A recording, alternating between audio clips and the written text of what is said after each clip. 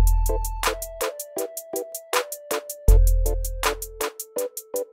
everyone, welcome to my channel. I've got a really exciting video today because I'm going to be testing out the new P. Louise metallic bases. You all know I have been waiting for these to come out since like since they announced it. I've just been so eager for these. So I finally got them and I'm going to do a video testing them all out today. I got all four of the bases so I'm just going to do a few swatches of them and then I'll do like a few different eye looks so we can test them out on the eyes and see what they look like. So this is the shade You're Glowing and it's a really nice silvery colour. I'm just going to put a little bit onto the back of my hand. Just going to swatch it for you. Oh, it's so stunning, honestly. I love these already. Don't mind the burn on my hand. I burnt myself on the oven.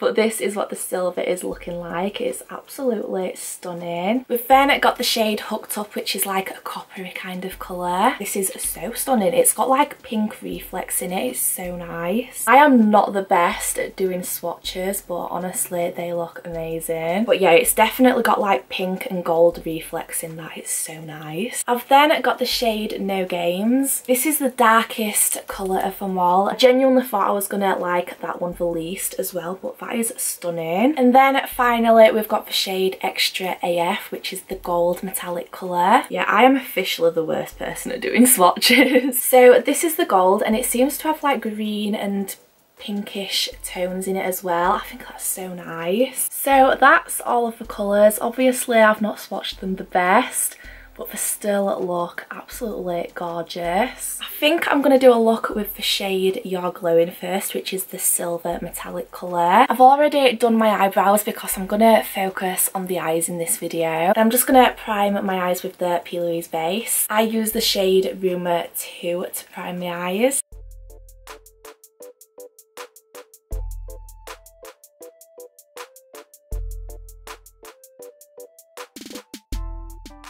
I'm just going to use my BPerfect Cosmetics Carnival XL Pro palette and I think I'm going to go for like a berry pinky kind of makeup look for Valentine's Day. So I'm going to go in with the shade Reckless. And I'm just going to pack this through the crease and then wing it out.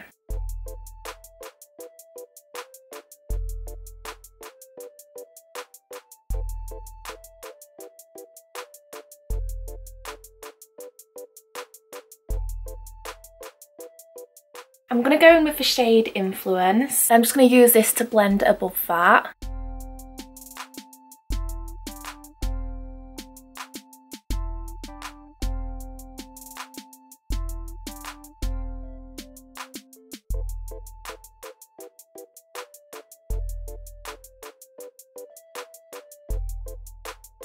And then I'm just going to go in with shade Makeup. I'm just going to use this above that to blend them all out.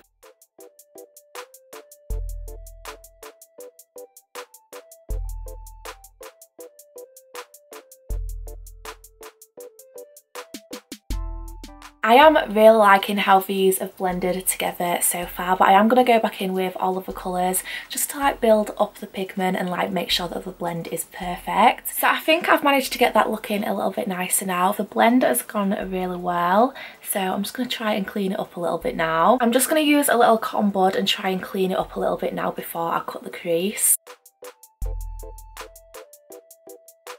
Well, I've not really done the best job at cleaning that up, but it'll do for now. So I'm going to take the metallic base in the shade You're Glowing, and I'm just going to use this to cut my crease.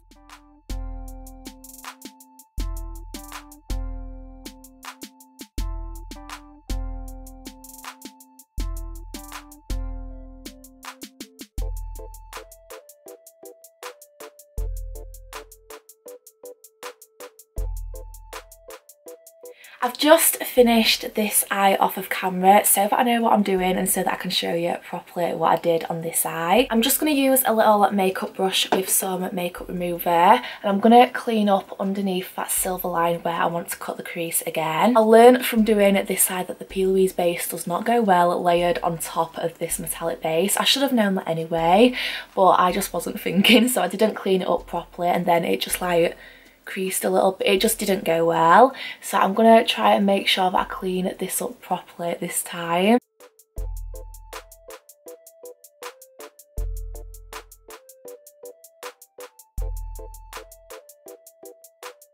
So I think I've cleaned that up enough or I've cleaned it up more than what I originally did on this side to begin with anyway.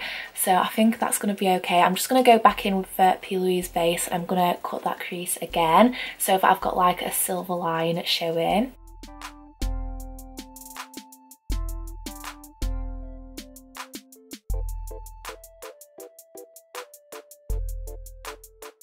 See, I still must not have cleaned that up properly because it's creasing a little bit in this corner here and I never have that problem with the P. Louise base. I'm just going to smooth that over with a fluffy brush. And then I'm just going to go in with the shade Tempera from my Anastasia Beverly Hills Modern Renaissance palette. I'm just going to press this all over the lid. It's definitely smoothed out a lot more now I've put that shadow on top of it. You can't really tell that it was creasing as much anymore. I genuinely think I just must be going the wrong way around using these because they do seem really, really nice. Like it was easy enough to cut the crease and everything. I just think I'm going the wrong way around it because I am struggling with creasing a little bit, but I don't know, it's the first time I've used them.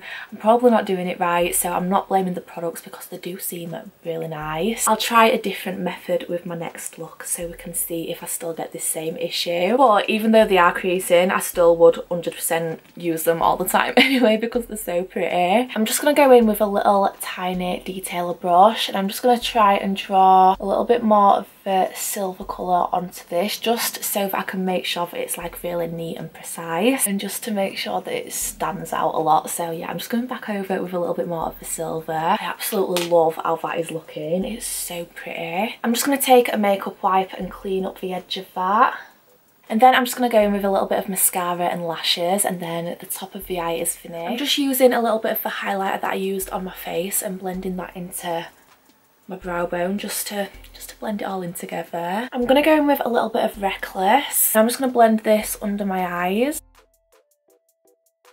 And then I'm going to go in with a little bit of Influence again. I'm going to blend this underneath the eyes as well. And then I'm just going to go in with the brush that I used for the makeup shade when I did at the top of my eyes. But I'm not actually going to put any extra product on. I'm just going to use this to blend underneath that just so it blends smoothly into the skin. I'm just going to use my Anastasia Beverly Hills Sugar Glow Kit. I'm going to use the shade Starburst. This is the same highlight that I used all over my face as well. So I'm just going to use it as my inner corner highlight so that it all blends together.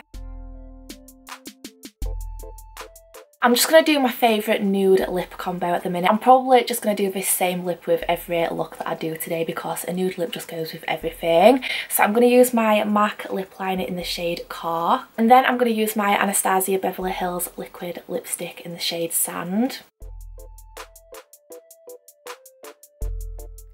So this is the finished makeup look. We're just going to have to excuse my chapped lips because they are really bad at the minute. I know I've only done one look so far, but I am absolutely loving this metallic base.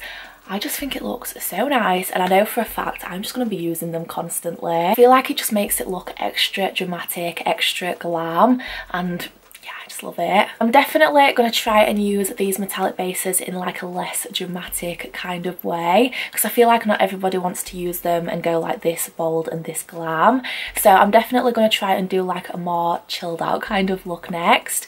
But I just, I just love this so much. I did struggle a little bit but I definitely think it's just because it's like the first time I used it. And I feel like the more I use them like the better I'll get I'm it. thinking for this look I'm going to do like a little bit more of a wearable glam kind of look It's definitely still going to be glam, but I want to try out these metallic bases in like an easier kind of way. I want to see if I can just like pack it onto the eye, blend it out and it look like really nice like that. So I think I'm going to go for like a dark smoky eye. I'm going to use the shade No Games, which was the darker colour of them all.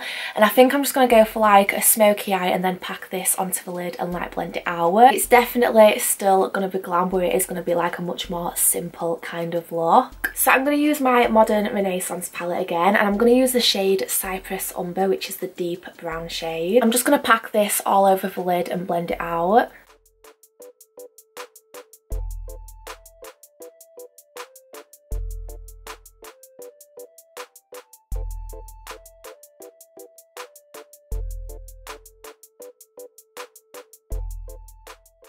Going to go in with this shade here. I'm just going to use this to blend out the edges. I literally never go for like a dark smoky eye. I think this is genuinely probably like the first time I've actually tried it. I just don't usually go for it. And then I'm just going to use a clean fluffy brush just to go around the edges to blend that out even further. So as always, I'm just going to go back in with both of those colours and make sure I've got the blend nice and seamless. So I think I've managed to get the blend looking okay considering I don't usually use these colours so I am not used to it in the slightest but I don't think it's looking too bad. I feel like with this kind of look it doesn't matter too much anyway even if it isn't perfect. But I'm just going to take the metallic base in the shade No Games and I'm going to put some of it onto the back of my hand and then I'm just going to take it onto a brush I'm just going to pack it onto my lid.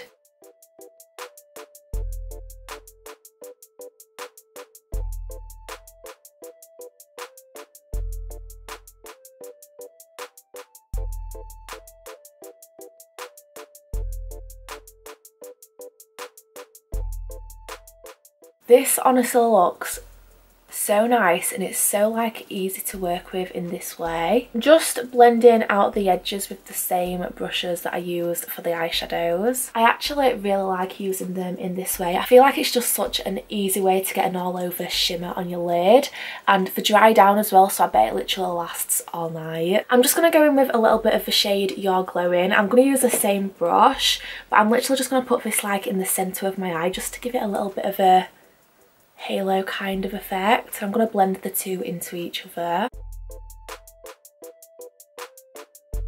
So I've put some lashes on and you know what, to say I don't really usually go for these darker kind of colours, I am really liking it. I actually genuinely might wear this on like a night out or something because I think it looks really nice. It's just like a really simple metallic smoky eye. I just think it looks really nice and I bet you can do this kind of look with any of the different colours. You'd easily be able to do like a coppery smoky eye as well with the coppery coloured on the lid.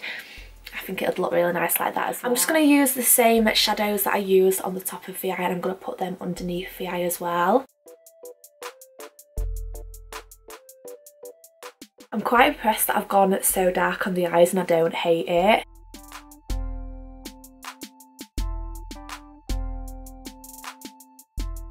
For my inner corner, I'm going to use the same highlight that I used on my cheeks again. I'm using the same palette, but I used a different colour this time. I'm just going to go in with the shade Marshmallow, and then I'm just going in with the same lip combo again.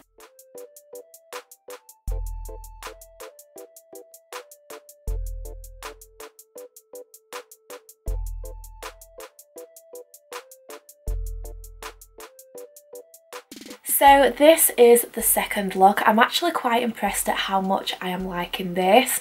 I didn't think that I was going to like it as I started it because it's too dark for me. I'm actually really liking it. I am loving the metallic shade like all over the lid like this. I think it looks so nice. I think this could definitely turn into like my go-to night out kind of glam because it just looks so nice on the eyes. Like I said, you could definitely go with any of these metallic colours like all over the lid. You'd get the same kind of effect. But this is like particularly night out because of like how dark and grungy it is. I don't think I've ever actually done like a grungy kind of makeup look on me. I don't hate it as much as I thought I would. So yeah, this is the second look. I think I'm going to try and include the last two colours into one makeup look. So it's going to be like a very warm coppery kind of look because the last two colours are like the gold and the copper. So yeah, I think I'm going to try and do them into the same look. I feel like with every look that I'm doing, my skin is getting paler because it's taking off my fake tan and also my curls are getting looser as well. So I think for this last look, I'm going to do like a warm coppery half cut crease kind of look. I'm going to use my Modern Renaissance palette again and I'm going to use like the warm orangey red colours. So I'm going to start off with Red Ochre and I'm just going to pack this into the crease.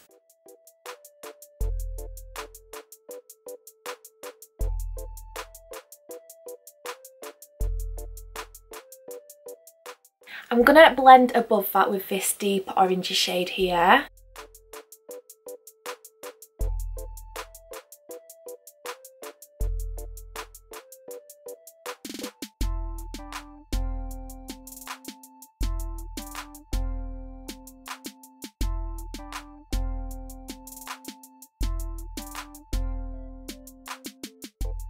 And then I'm going to go in with the shade of Burnt Orange and I'm going to use this to blend above that as well.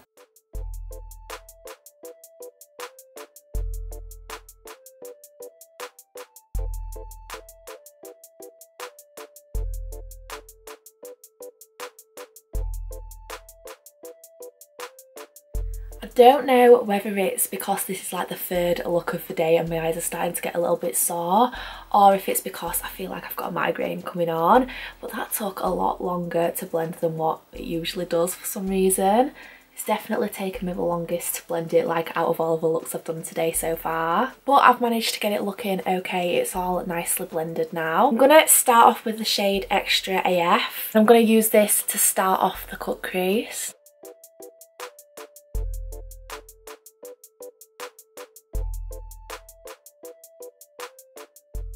And then I'm going to go in with the shade Hooked Up and I'm going to use this to cut out the outer part of that cut crease. And I'm going to try and blend the two colours together.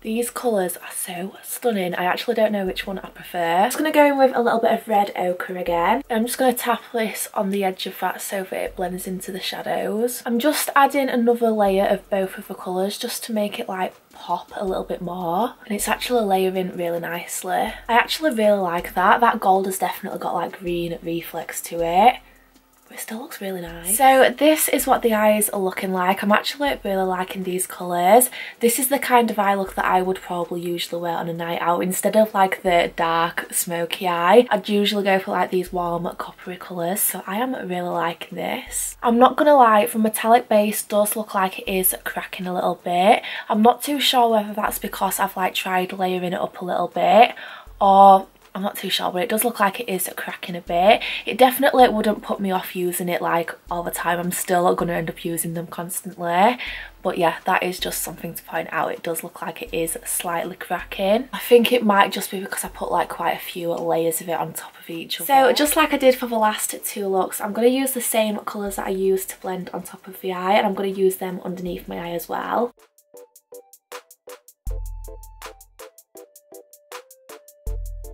I'm going to use the same highlight that I used on my face again and this time I used the shade Butterscotch. I'm going to use this as my inner corner highlight again.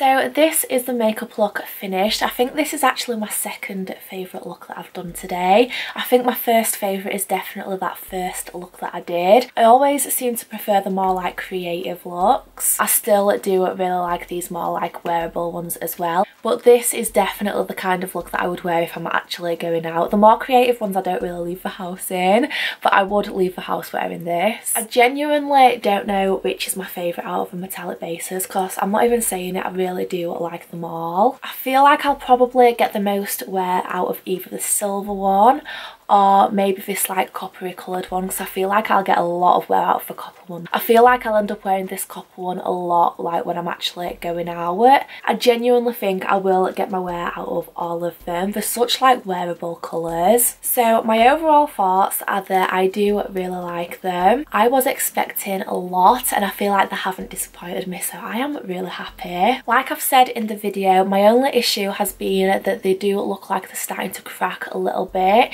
It's not drastic though. I feel like I'm just being picky because they do look like they're cracking slightly but that's also because it's like a metallic effect and I feel like you're not really going to get a metallic effect without that kind of it's not really cracking. I don't really know how to explain it. It definitely wouldn't stop me from wearing it. If anything, it just gives it more of like a glittery kind of effect. I feel like there's so many different like kind of looks you can get using these. You're definitely going to end up seeing them a lot on my channel. I really hope that they bring out more colours as well because I feel like I need a bigger collection of them. I think there was only like £13.50, something like that, and I definitely do think they're worth the money. So yeah, these are definitely a big yes from me. I feel like I'm going to be wearing these a lot. So I really hope you've liked this video. Let me know down below which was your favourite look. I definitely think it was my first one that I did, but let me know which you preferred. I will see you in my next video. Bye!